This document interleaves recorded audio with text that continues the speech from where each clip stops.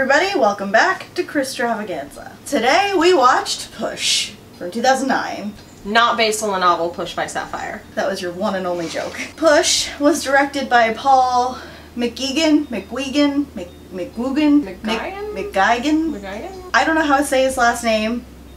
He's Scottish, and that's probably why. The other things that we knew of, or at least that I knew of, that he had also done, were two episodes of Luke Cage, an episode of Scandal, and he directed Victor Frankenstein. Victor Frankenstein is one of the gayest movies I've ever seen. But that's neither here nor there. It has nothing to do with Chris. I have like spotty memories of watching Push before and did not recall most of the plot because it had just been that long. But it was a movie that I previously owned. And I've never seen it, so it had been so long since I'd even seen the trailer from its heyday, so I didn't even really know what it was about. Not that I ever knew back then.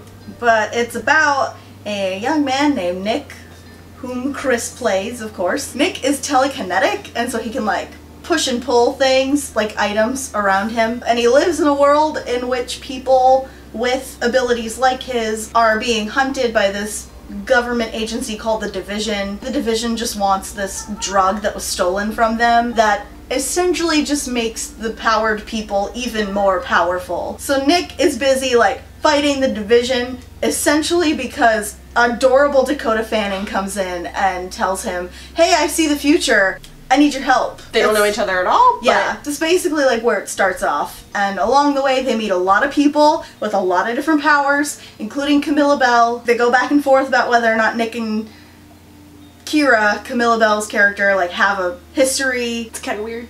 Yeah, Not explained we- too much. Well, it is, but it's it's explained in a very non-linear fashion. It's like very quick. So, yeah, so you have to like put the puzzle pieces together, but they're coming at you very, very quickly. Maybe that's not the best way to tell a story, but we will get to most, if not all, of that. Let's dive right into our pros. So the first pro is that it was made by Summit Entertainment, which was important to Angel because they made the Twilight movies. So I have a lot of trust in them, so I knew it was going to be something. There is narration in this movie done by Dakota Fanning, and for once, I don't think it was too much of an info dump. It was actually really useful information for the context of the movie. It started in 1945. The Nazis were conducting experiments in psychic warfare, trying to turn those with psychic abilities into soldiers. I appreciated the narration because it set it up very simple and then we got right to the movie. And she mentions in this opening monologue that The division's agents are trained to track and hunt us down like animals, take us away from our families and friends. because that's not super relevant in 2019. Djimon Hounsou is in this. I have probably talked about Djimon Hounsou at least three other times on this channel, and you probably haven't like caught it. I just like him. He's in Captain Marvel, and he's in Guardians of the Galaxy, and a lot of other movies. Chris wears Converse shoes in this. It's a good look. Speaking of good looks, Oh my gosh. the sweater. Somebody in the costume department just said, let's put him in an oversized knit sweater that just clings to every crease in his body. that goes past your wrists. You know what's always sexy? Fingerless gloves. He looks dirty, he looks tired, he looks depressed, and it's a good look for this movie. Dakota Fanning is just her own pro. The camaraderie between Dakota Fanning and Chris Evans is just I know you're a second generation mover. Is that what the kids are calling it these days? from the get-go. That's us. And that's our money. And That's my toothbrush. So good, so endearing. For you. What is that? Lotus. I really truly cared about both of them and their relationship throughout the entire movie. It is the buddy cop comedy that we deserve. Somebody needs to get Chris Evans and Dakota Fanning in a movie together again. Could you imagine them like in a comedy together though? Like that would be so cute. Yeah. The writing and acting in this, with very few exceptions, mm-hmm. is really good. It's it's like up to par with Sunshine for me. The cast and the director and like the crew and stuff, they clearly were working in very close uh consideration, I guess, of each other. The edginess of this movie works. It serves the story to be kind of gritty and edgy rather than other movies that are that way That that we've talked about that we that shall not be named. There were some scenes that were just so quick and so jump cutty that it was like giving me whiplash and it was a lot coming at you, but it makes sense given the context of this movie because it's a very intense movie. Like there's always a lot going on. the stakes are really high. Yeah. I think like the jump cuts maybe weren't always the best editing choice. Mm-hmm. But there were like certain cinematography techniques that really built up the tension and it was really well done. Yeah. I'm actually surprised. The music was kind of hit or miss in this It movie. was. There were some choices that were very not congruent with the tone of the movie. Yeah. And then there were some choices, like there was this one like score throughout the movie that I felt really fit the tone really well.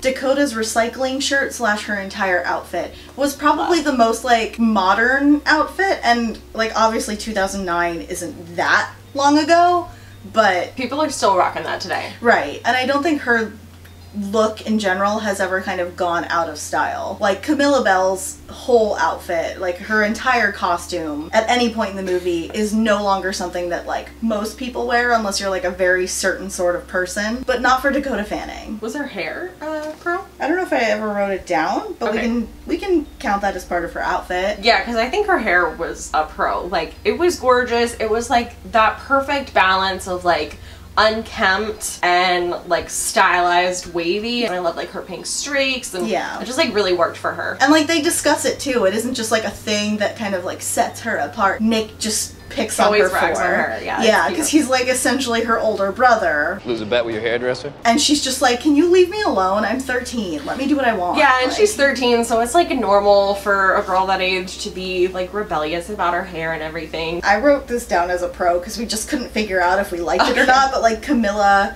Kira's very mid aughts outfit that she walks around for most of the movie in, which really felt like something a Disney Channel star would have worn on a red carpet at that 100%. point in time. I definitely wore those outfits growing up. So Kira is kidnapped by these two guys from the division, and she is able to create like alternate realities. She she can into action whatever she's right thinking. she puts like thoughts into people's head and makes those people believe that those thoughts are real one of the the fools from the division Corey Stoll. she convinces him that his partner killed his brother never had a brother never lost a Never brother happened. it never happened. She convinces him to kill his partner and then knocks out Corey Stoll and then takes the black coffee. She just sees the coffee and walks off with it. Sometimes you just need your coffee. Yeah. I'm surprised she didn't have enough adrenaline from like doing all that. that She still Also, she was go for some injected with the like the big man serum, where she like is twice as powerful or something. They're kind of vague about what this serum is Yeah. supposed to do, but in any case, she she's like at the peak of it too. So. She's hardcore. Oh, Cliff Curtis is in this too. He's in Sunshine. He was also Fire Lord Ozai in the Avatar movie that nobody talks about. I mentioned that and she screamed. I finally like knew where I had seen him before. It was a big deal. And the fact that I immediately knew that he was in Sunshine made Yeah. me really happy. My favorite pro of all is that Ming Na Wen is in this. And she has a much bigger part than I thought they were going to give her. They give her items and she sniffs it and she can like figure out who touched Whatever it last and where they yeah. are. Like, It's like the history of the object. Like, Kind of, yeah, It's been. I'm surprised you had seen this before and never caught that. it's been so long since I had seen this that I completely forgot. Djimon Hounsou tells Kira that she was at one point a division agent. She's injected with this super serum shit and dies, but then comes back to life, and that's why they're all after her because she's patient zero and She's the only person who could do that. he's definitely manipulating her to get her to come back with him. But we don't know that at that point. All we know is that we think the Kira has been playing Nick the entire time, and it's heartbreaking. She tells Nick later that Remember that night under the roller coaster? I remember. Never happened. We met for the first time yesterday. so Nick wholeheartedly believes and has evidence as proof that he and Kira had a relationship. So then he would have like known that she was gonna be manipulated. Well, he knows and- that Carver does that. Anyway, moral of the story is the plot twists were really good. I was caught off guard. I'm still they didn't really it. feel like cheap or anything. Is No. the thing. Like I was really, I really bought into them. like it makes sense. Mhm. This movie lines everything up It's just not in a linear line. It's like it's like a squiggly line. And you have to like go and grab all the clues along the squiggly line. Kind of like this video. Those were the end of the pros. However, we do have two things that are just kind of like on the fence. Camilla's bangs, classic 2009 bangs. Yeah. So I wrote down Nick cares so much as a middle of the road because it gets him in so much trouble. But also that trouble is completely fabricated and not at all real. It's just trouble that Carver really creates himself. But he just knows that Nick has the biggest heart in the world. I think I might legitimately be in love with Nick. Oh, boy, like this is just what we need. now we're gonna go into cons. Oh, we're switching. Okay. I'm surprised we have so many cons. I think they're all legitimate cons. Though. Okay. The first one is Chris's dad dies at the very beginning of the movie. I mean, really sad. not necessarily like a con to the plot, but it's just sad. Yeah, it's not like a bad thing that we Yeah. didn't like. It just made me emotional. It's sad. Too many jump cuts during gambling scene. Yeah, the, And just kind of like throughout the movie, In there are certain scenes that don't need that many jump cuts. that was the first one that got to us. Mm-hmm. Some of the powers are confusing. They don't really like give limitations to the powers. Camilla Belle mind melds an entire group of people in jumpsuits at the end of the movie, but like it was never really established that she could like control their entire body. Her power, as far as I could understand, is just that she can fabricate events by speaking them aloud. But he was murdered. And you know who did it, don't you? The bleeders, they're Their not. their powers not like explained. I didn't need it to be explained. They just yell at such a high frequency that it bursts blood vessels. I didn't put it together until you said that. They're I mean, also called fish killers. bleeders. The bleeders are fish killers. Yeah, I'm done with movies where fish are murdered. Body horror. The bleeders like pop Oh. the blood vessels in his body, but they Really can't gross. kill him because killing him changes the future in an adverse way to what they want the future to look like. Some weird lady called a Stitch comes in and fixes him, sort like a of. massage gone wrong. Yeah, and just like that alone, it just made me cringe. It's gross to look at. Yeah, Cassie doesn't believe in herself, and we do.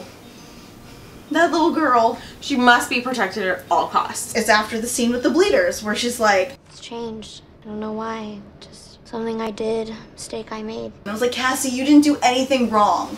Cassie, like, I'm really disappointed that Nick didn't tell her that straight up. Yeah. That he was like, it's not your fault, because it really wasn't Cassie's fault. And she's always saying that the other watcher, seer person is Watcher. better than her. Yeah, just because she's like older and I guess has a little bit more. But she's like always putting herself down. but- Yeah, and there's no reason for it either. No, Nick can't control his power. He like gets better at it throughout the movie, but they don't really ever talk about why he's not so good at controlling his power, except that he just doesn't seem to care at the very beginning. It seems kind of lazy, yeah. Kira and Nick don't talk before hooking up. they really honestly don't have a conversation about like how they know each other, how long they were together for, nothing. They don't kind of reconcile any kind of feelings about one another before they're hooking up. Really, they just make out and then Cassie comes back to the hotel room drunk. But also, she manipulated his memory, his vision for him to come in there. I thought the bathroom was on fire. I had to get you to come in somehow. Then they just make out and he touches the butt and that's like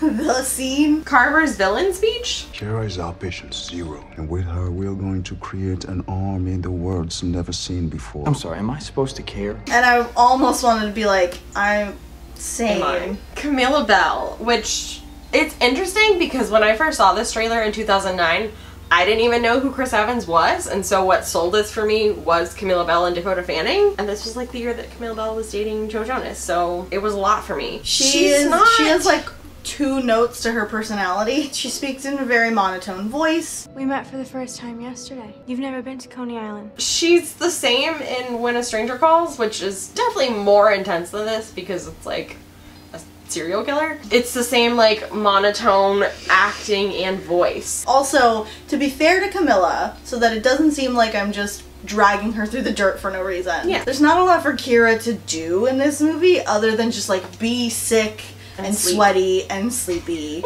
I was glad that, like, having watched this now, that it was really more heavy on Chris and Dakota because that's not what I gathered from the previews, at least from what I remember. They did the work in the narration at the beginning to set up the movie so that they could focus on the characters, on the relationship, especially between Cassie and Nick. What does the not division Chinese family want? There's like this weird Chinese family with a watcher, two bleeders, and the dad with the sunglasses. I don't know what his power is. They're just there through the whole movie. I think they want the serum that's in the case that they're all after, but I don't know what they want it for.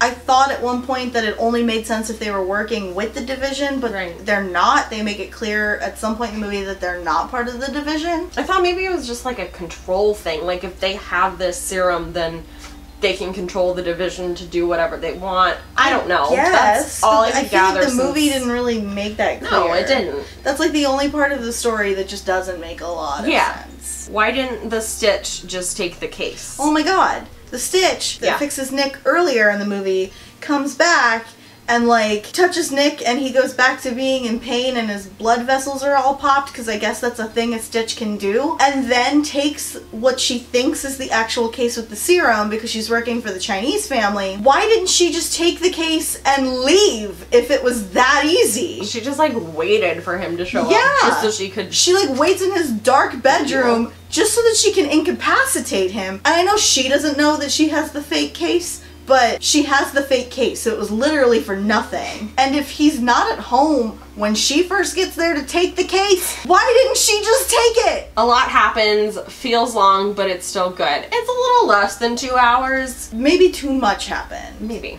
And I think there can be a case to be made to like take out some of the stuff that happens. I think especially with this third party Chinese family. That's what I was thinking. Be- just because like otherwise like narratively they don't make a lot of sense since we don't really know what they want Yeah. Kira is always sparkly. At the very end, like a big fight scene, she shows up with Division in a sparkly blazer and like short pencil skirt and then like some taller boots. The outfit is not practical in any way. the whole I the outfit as a whole isn't but especially the sparkly blazer Your next point is so many suits at inopportune times. the bleeders from the chinese family are suddenly wearing suits they have never worn formal attire in this entire movie You gotta dress up to fight? scene. i guess Like, it just doesn't make any sense The last con, and also very much related to the subject, is lip gloss. At a time like this,